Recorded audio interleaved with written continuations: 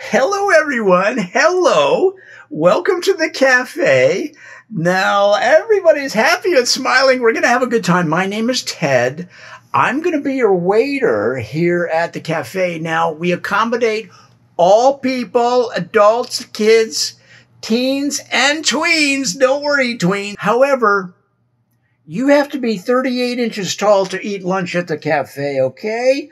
And if you're from outside the United States, that's 97 centimeters. Well, you guys are so tall, I don't think we're to have any issue there. You guys are so tall. Are you Swedish or Finnish or something? Norwegian, maybe? Now, another thing, before we take your order, I have to alert you that the lunch here is got a lot of ups and downs, a lot of dips a lot of hills, a lot of thrills and spills. So you have to be able to hold on to your salad or your entree or dessert or your drink during the lunch because you're going to get tossed around like a sock that's in a dryer and the dryer is in a tornado just outside of Zanesville, Ohio. We're just supposed to let you know ahead of time. Now, as an added bonus, at the end of our lunch, there's going to be an audio animatronic performance. It's going to be a medley of hit songs by one of our most beloved characters here at the cafe, Queasy the Pigeon. All right, guys, let's get this lunch